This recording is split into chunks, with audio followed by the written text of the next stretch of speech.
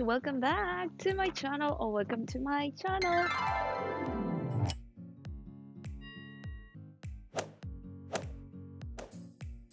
So, ayan.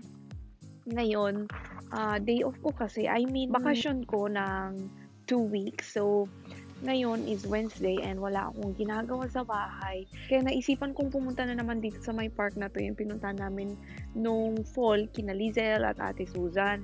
So, kung makikita nyo dito, kasi nga katatapos lang ng winter, kaya walang mga dahon, to mga puno, pero nag-start na silang mag-green. So, kung makikita nyo naman dun sa taas na yun, may mga pink. Sana nakikita.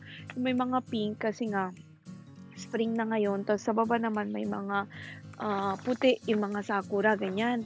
Tapos, dun sa may taas, wala masyadong ano, wala masyadong mga nag-bloom. Kasi, ewan ko, siguro yung sa taas na yun, yun yung mga ano, pang, yung place kasi na to, sikat siya pag fall, pag autumn.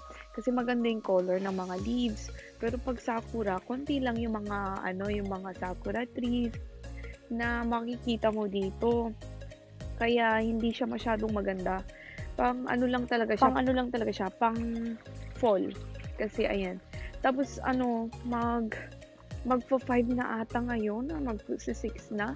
Kaya medyo dumidilim na. And late na kasi akong lumabas.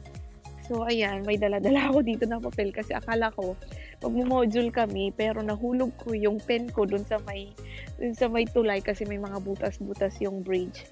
E nahulog ko yung pen. So, wala, wala nang module ngayon. Kaya, ayan, ay ipapakita ko lang dito. And medyo mabaho ngayon ngayon. Ngayon. medyo mabaho ngayon. Kasi hindi ko lang alam, hindi ko alam kung bakit medyo mabaho. Hindi ko alam kung saan nanggagaling yung baho niya. Eh, yung CR naman malayo, dun pa sa baba. So, ewan ko kung bakit mabaho ngayon dito. And, ayan lang, naglalaro lang ako. Mag-isa ko lang talaga dito. So, walang mga, may, ano, may couple kanina na nag, parang nag-date. Ewan ko kung mag-asawa yung mga yon. So, ayan, medyo upo-upo lang tayo dito, ganyan. And, relax-relax lang tayo. Kasi, ah, ilang araw ba ako nag-stay sa bahay? Four days from, ano, from Saturday hanggang kahapon.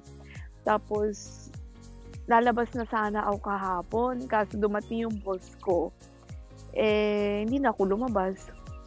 And then, ngayon, naisipan ko na pumunta dito. So, kasi hindi ko pa nakikita tong place na to kapag uh, spring. So, ngayon ko lang nakita. And nakita ko yung difference pag, ano, pag spring tsaka autumn. Mas maganda talaga pag autumn. Kasi magaganda yung mga color ng leaves. Pinakita ko sa inyo dati. Pero ngayon, wala na walang mga kulay. Yung iba lang, yung sakura lang, nandun sa baba. Yun lang yung ano makikita dito. Pero wala masyadong sakura. So, bukas naman, magmi-meet kami, kina Mel, Lizel, Ate Susan. May pupuntahan kami sa Mahimeji. At the same time, pupunta kami sa Mahimeji Castle. And maganda kasi yung sa surroundings ng Himeji Castle. Kasi, puro sakura yung mga na, nasa paligid niya. Kaya, hopefully, maganda pa sila. So, try namin puntahan bukas. And ano, ngayon, hindi na masyadong malamig ngayon. Tapos, ayan, kwentuhan lang pala, no? And, ayan, ah, uh, pag wala kaming ginagawa, ayan, lalabas-labas lang, tumalabas-labas lang kami sa mga paligid. Kasi malapit lang to sa bahay ko, sa tinitiran ko, kaya, uh, nagbike lang ako papunta dito. Yung bike ko nasa baba, kasi may parking doon. And, ayan, medyo ano lang tayo dito. Parang hindi ko na talaga matiis yung baho ah. Pero, eh, parang amoy ihi talaga. Ewan ko ba, wala naman to nung ano, nung pumunta kami dito. Ewan ko lang.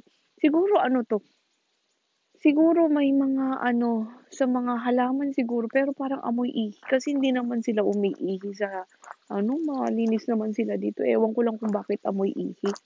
Kaya ayan, medyo ipakita ko lang sa ano no, dito. Tingnan ulit natin. Tingnan natin dito, banda. Ayan.